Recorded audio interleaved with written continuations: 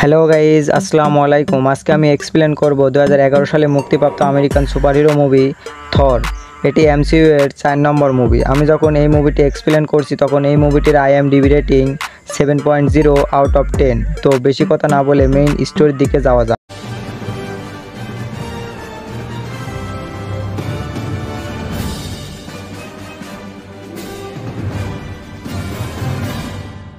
এই মুভিটি তৈরি করা হয়েছে নর্থ মাইথোলজির উপর ভিত্তি করে। যার মধ্যে নাইন রিয়ামস বা নয়টি প্ল্যানেটের কথা বলা হয়েছে। আলাদা আলাদা গ্যালাক্সির এই নয়টি প্ল্যানেট একটি স্ট্রাকচার রূপে একটির সাথে আরেকটি জড়িত, যাকে ইয়াক ড্রেসিল বলে। ইয়াক ড্রেসিলের মধ্যে রয়েছে প্ল্যানেট আর্থ যাকে মিডগার্ডও বলা হয়ে থাকে। এই সকল প্ল্যানেটগুলোর মধ্যে খাস প্ল্যানেট হলো অ্যাসগার্ড যেখানে দেবতারা বসবাস করে। অ্যাসগার্ডের লোক মানে এই অ্যাসগার্ডিয়ানরা আদিমকাল থেকে এই নয়টি গ্রহ রক্ষা করে আসছে। সাল নয়শো পঁয়ষট্টি ইউটান হাইম নামের একটি গ্রহে ফ্রস জায়েন্ট বরফের রাক্ষস যেখানে বসবাস করত, সেখানকার রাজা লফি নাইনরিয়ামস দখল করতে চাচ্ছিল। এটা শুরু সে মানুষের দুনিয়া থেকে শুরু করে। ফ্রস জায়েন্ট এই সকল গ্রহগুলোকে বরফ দিয়ে ঢেকে দিয়ে রাজত্ব করতে চাচ্ছিল। কিন্তু তখন অ্যাসগার্ডের রাজা ওডিন তার সৈন্যকে নিয়ে সে পৃথিবীতে পৌঁছায়। তার সৈন্যর সাহায্যে রাক্ষসগুলোকে হারিয়ে তাদের গ্রহে পাঠিয়ে দেয়, যার পরে ফ্রস জায়েন্টের কাছ থেকে তাদের খাস হাতিয়ার ছিনিয়ে নেয়। আর ইউটানহাইমের রাজা লফি ওডিনের চাপে পড়ে একটি শান্তি চুক্তি করে। এখন থেকে সে আর কারোর ওপর আক্রমণ করবে না। তার কয়েক বছর পর, সাল দু যখন অডিনের অনেক বয়স হয়ে যায়, তখন সে তার ছেলে থরকে অ্যাসগার্ডের রাজা বানানোর সিদ্ধান্ত নেয়। থর যে ছিল গড অফ থান্ডার, যে ছিল তুফানের দেবতা, যে রাজা হওয়ার জন্য খুবই উৎসুক ছিল।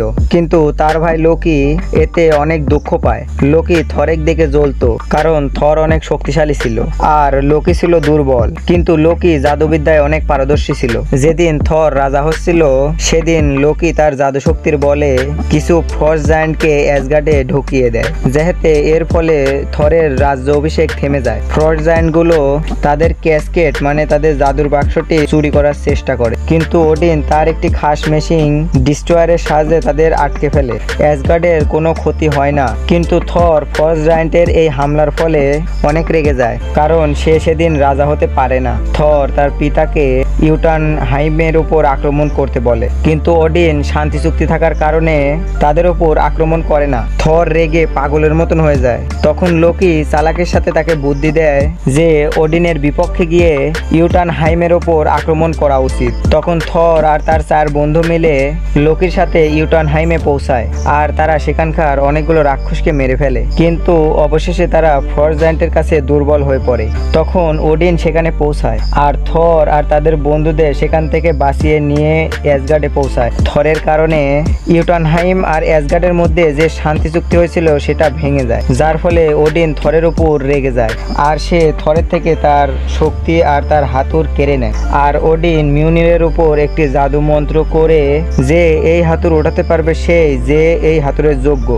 আর যে এই থরের হাতুর উঠাতে পারবে, সেই থরের শক্তি পাবে।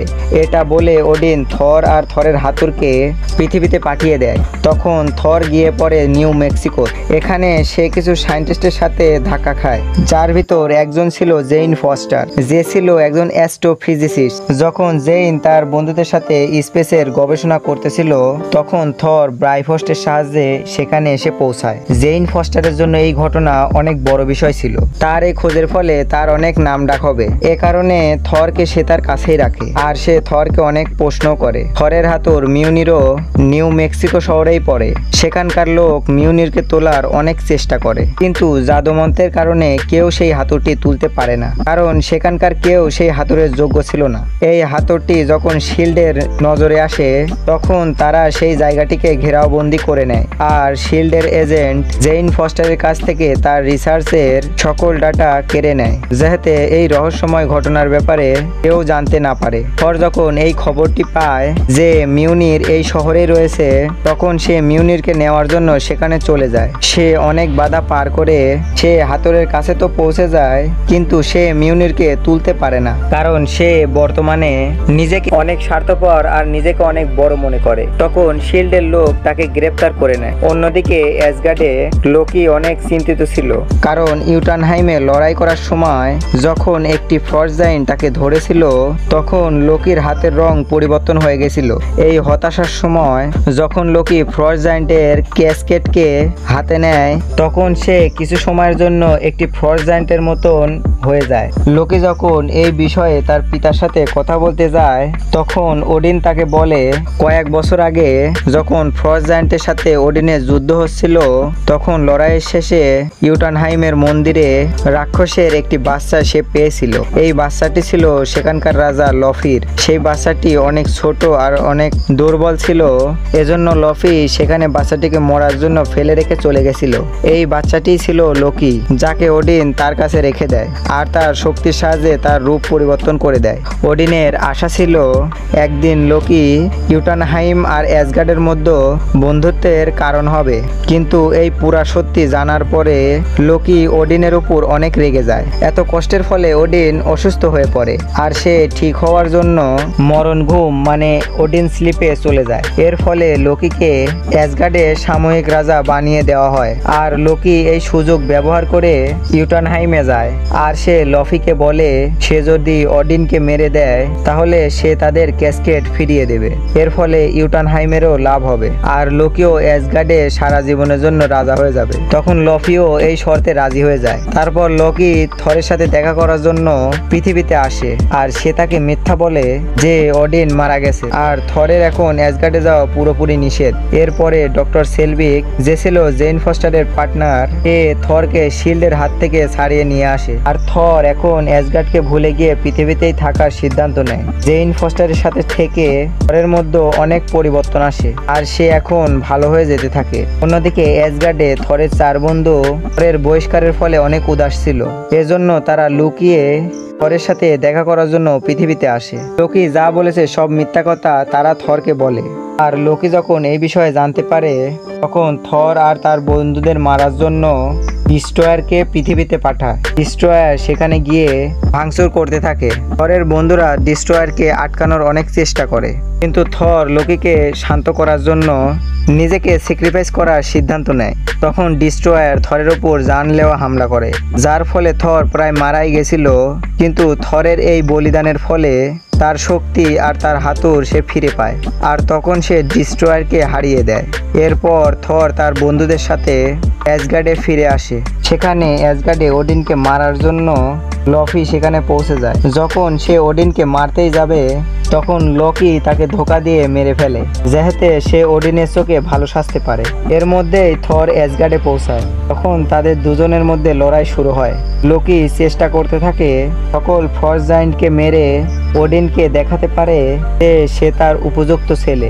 এজন্য লোকি ব্রাইফস্ট ইউজ করে ইউটানহাইম ধ্বংস করতে থাকে। কিন্তু থর তাকে এই কাজ করতে বাধা দেয়, কারণ সে এখন দয়ালু হয়ে গেছিল। থর তার হাতুরের সাহায্যে ব্রাইফস্ট ভাঙতে থাকে, যেহেতু সে ইউটানহাইমকে বাঁচাতে পারে। আর যখন পুল ভেঙে যায়, তখন লোকি আর থর পাতালে পড়ে যেতে থাকে। কিন্তু তখন ওডিন সেখানে এসে তাদের বাঁচিয়ে নেয়।